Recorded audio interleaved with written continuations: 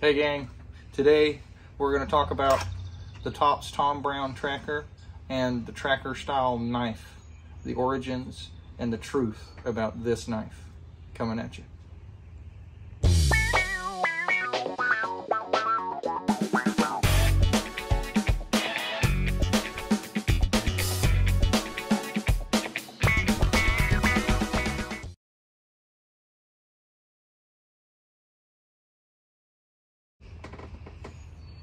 Welcome back.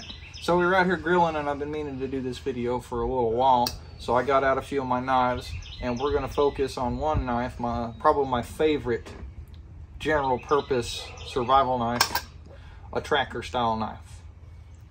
This knife is very controversial and it gets a lot of flack and there's people who just, it seems that nobody just kind of likes this knife. Most people either absolutely love it or they absolutely hate it. And honestly, there's not a whole lot of people that seem to actually have the true story behind this knife. So we're going to talk a little bit about that. I've had this one for a while now, and as you can see, I use my knife. I really like it. It really is probably my favorite style of knife. The Tops one is uh, the one that I have because it seems to be the best value for the money as far as tracker style knives go. There's a few people that make them right now, and honestly, out of the ones that are out there, the only ones I personally would fool with would be either the Bark River tracker or the grail of tracker knives, the Dave Beck. Um, so let's talk a little bit about the origin of this style of knife. This knife was not invented for a movie.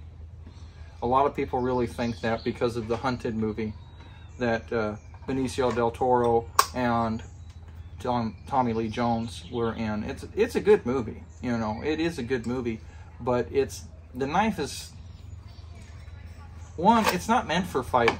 It, it was not made for that movie. This this knife was meant to be an all-purpose survival knife, and the origins of it go back to the 80s, and the very first tracker in this format goes back to 1991, and Dave Beck was the man that came up with it. Um, the original idea goes back to a knife called the Medicine Blade from the 80s. And there's a lot going on here, and we're going to talk a little bit about what's going on here before we get any further into the story. So you look at this thing, and it's a crazy looking knife.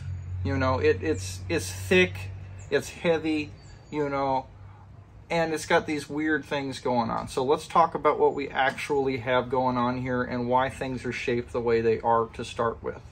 All right, you'll notice I added the pinky lanyard. All right, and I think it needs a pinky lanyard, this type of a knife. You have the main components are this edge with the quarter round. Then you have your hatchet point all right, this is the hatchet section of it. Now on the Tops model, they do their saw a little differently. This is a saw back. Some people say it's only good for notching. I've cut all the way through branch, small branches with it. It cuts, it does work. It's functional. Uh, you can use it for scoring and scraping and all kinds of other things. And I also use it for my ferro rod. Okay. Uh, this one right here, I have not used this function. I will. I'm going to test it eventually. But this extra long groove in here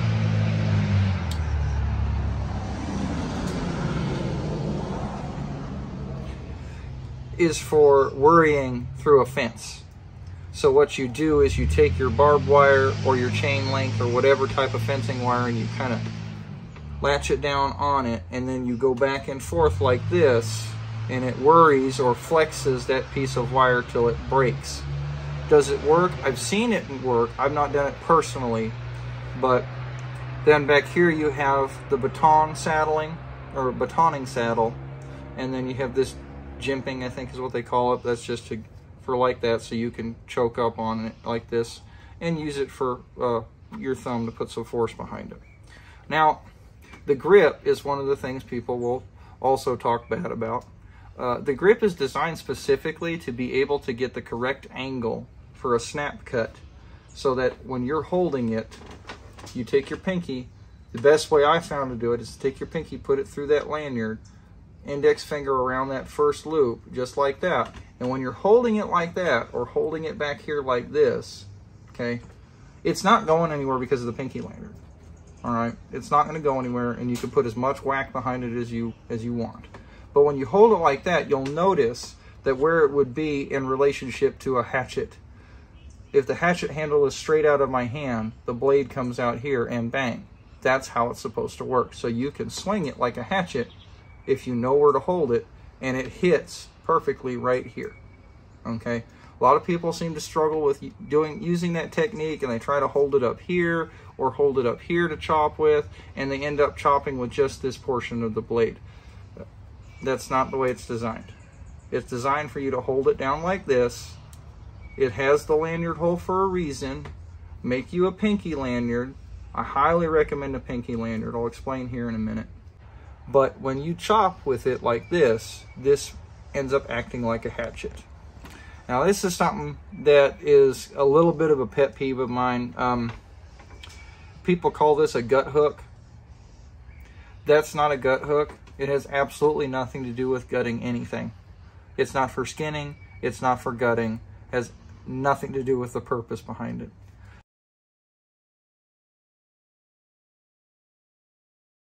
This is called a quarter round. Okay.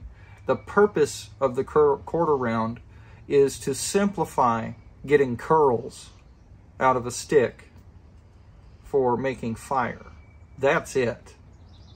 Okay, that's all that's for.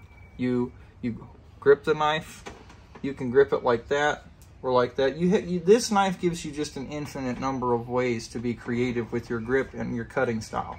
But when you hold it like that and you draw it up a stick, or one of the ways I like to do it, and I'll show you, I'll do a little tutorials, but there's a technique where you can stick it in a log and draw the material across the edge of it, and it makes nice, perfect little curls to get a really fluffy tinder bundle out of a stick for building fire. This knife wasn't ever designed nor intended for delicate use.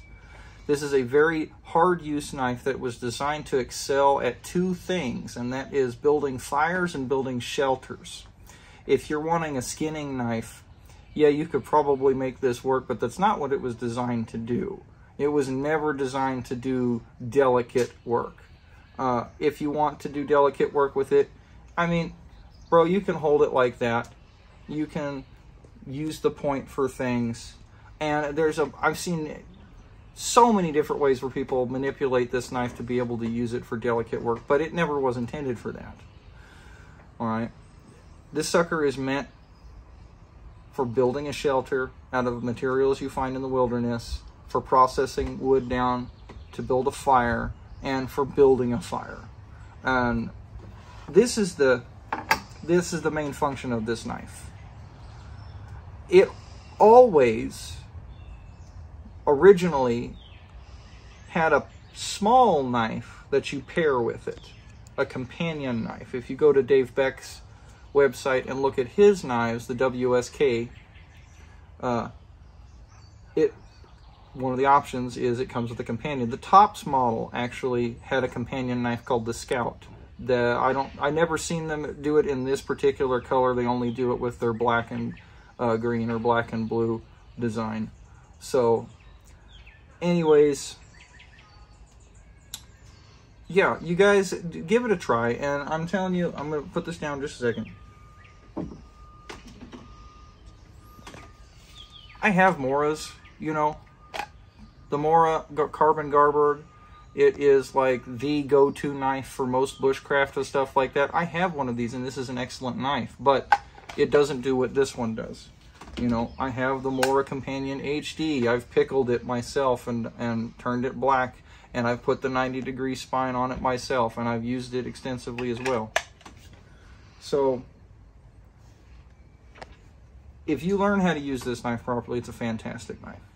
Is it for everybody? No, not at all. And I'm not saying that this has to be your choice. This is just my favorite choice. And I would love to have a Dave Beck, you know. The Tops one when you can find it is about 200 bucks. A Dave Beck, the full set, you know, you're talking like 17, 1800 dollars, something like that. So, you know, get you this, and you're not going to have to take out a loan. But so we'll go over this real quick to the pinky lanyard and why I chose a pinky lanyard versus a wrist lanyard. I think a pinky lanyard is the safer option for something that you're going to be chopping with. The reason for that is the shortness of this lanyard prevents this knife from coming out of my grip completely if I lose grip. See how that works? I can pull on this. Someone could pull on this or it could I could swing with all of my might and lose my grip and it's not coming all the way out of my hand. And the reason you don't want it to come all the way out of your hand and you want to keep it short is so that the knife won't turn down and swing out and down and back at you. Okay, a wrist lanyard, it will do that. It, if it slips all the way out, it's coming down and around and back at you and you risk wounding yourself. So, you know, with this one, I made it a little extra long. It needs to be a little shorter, honest with you. But you could fit two fingers through there and swing with all of your might, and it's absolutely never coming off. Never going to lose grip on it. It's never going to swing back at you. So, you know, that's really what I got to say about that for this video. I'll do some more tutorial videos on how to do specific things with this type of a knife. And I'm going to put it down now and I'm going to show you the sheath that the the tops comes with this sheath.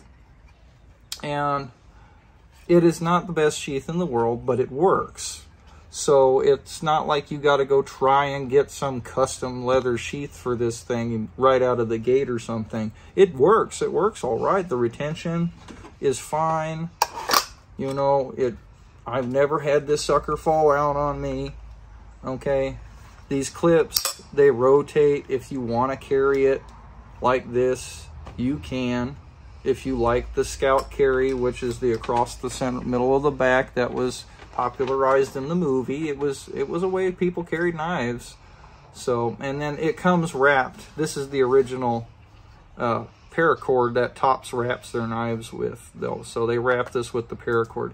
And the reason for that and i have done it and i'll have to shoot a video on that but you could build a bow drill set with this very well this is fantastic for putting your notches in a bow drill set.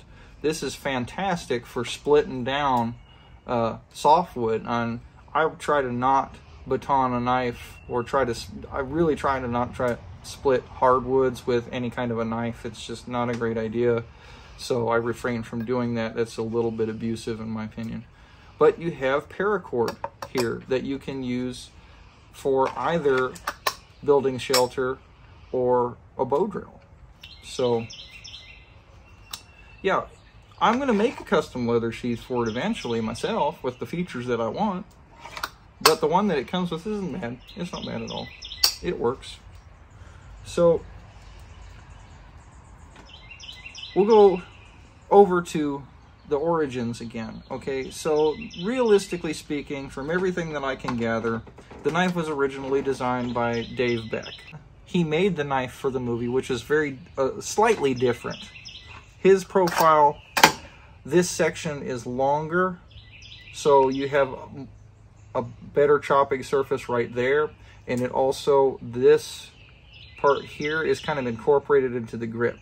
So this grip comes up higher there, and then that is all incorporated into it, and it's a little bit more pronounced, okay? Now that knife is, in the movie, mainly used for fighting. This is not a fighting knife, guys. Uh, to be honest with you, probably the first time that you took this knife and tried to stab someone with it, your hand's going to go whoop and slide up that blade, and you're getting stitches. It's not fun, I promise you. Um, it's meant for survival. Anyways, they never gave Dave Beck credit for making the knife. His name was eliminated out of there. Uh, Dave Beck had to close shop. He had suffered from an injury. and he eventually lost the rights to the name, the Tracker knife. He still has, you can go to his website, he still has the original one that he made that says Tracker on the knife. So Tom Brown Jr. kind of swindled him out of the name and went to Tops because nobody else was really making it at the time, and Tops agreed to make this, and this has been one of their flagship knives since then.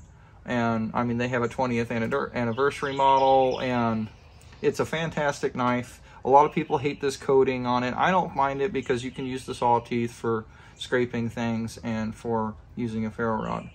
But anyways, he legally has to call his knives something else now and he calls it a WSK or a wilderness survival knife. I would go check it out. I've seen a few other people try to say, "Oh, my daddy designed it." One one, I think, one of the craziest videos I've ever seen was this guy saying his daddy actually designed the knife, never provided names or anything like that, and uh, no, of course, no information or evidence to back that. And to me, yeah, because he said that he I've redesigned this, I've added a feature to this, and, and I'm going to show you that my the because of this my daddy designed it. And i'm like well that doesn't help anyways. And it was pretty obvious to me he had no idea what this knife was meant for. Uh, he designed a gut hook like an actual gut hook into here. Like like down and like that. And i'm like you've got to be kidding me. This is the baton saddle. This is for splitting wood which is what this knife was pretty much designed to do is process firewood and shelter wood. You need the baton saddle for that. And so he basically destroyed the, the pure function of the knife to add a, a gut hook to the knife. So that's kind of a big sign to me that he doesn't have a clue what this knife is about. And his daddy definitely didn't design it. But anyways, guys, uh, don't mean to be overly negative and attacking people. I'm not going to mention names of people like that so they don't feel like I'm personally attacking them. But anyways, guys, if you've never seen this knife or you've you've kind of always shied away from it or thought it was just a movie knife, the truth is it's not. It is an excellent knife. And yeah, it's heavy, but let's be real here. It's a knife. It's not that heavy. Is it heavy for not? Yeah, it's not that heavy though, guys. It's it's like a pound and a half, two pounds, something like that. I don't know. I don't really notice it in scout configuration. Um, anyways, I think it's a fantastic knife that every woodsman should at least give a try. Give it a try, guys. And if you can't afford the Dave Beck or the Bark River, the Tops one's about 200 bucks.